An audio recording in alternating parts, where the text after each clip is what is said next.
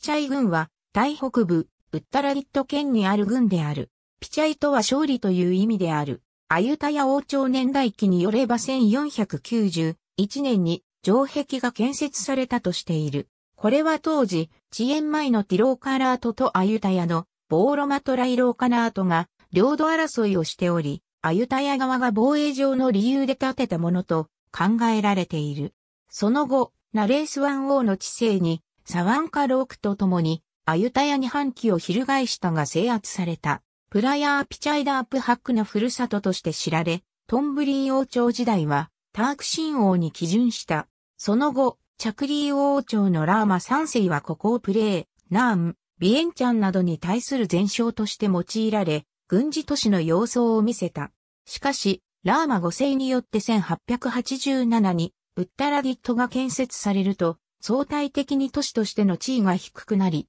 1899年、県庁所在地がウッタラディットに移動し、ピチャイは地方都市となった。また行政区分としては、ピチャイはムアンピチャイ郡と呼ばれていたが、ムアンが県庁所在地を思わせるため、1938年、ピチャイ郡と解消された。ナーアン川の形成した平地にあり、郡内には東部を除き山地がない。交通は国道11号線が南北に通っており、ウッタラディとピッサヌローク、スコータイの中間に存在する。鉄道はサワンカロークへの分岐点になっている。軍内の主要な産業は農業で、主要な産物は米である。軍内には11のタムボンが存在し、その下に97の村が存在する。自治体が置かれており、テーサバーンタムボンターサックとテーサバーンタムボン内務案がある。軍内には11のタムボン行政隊が設置されている。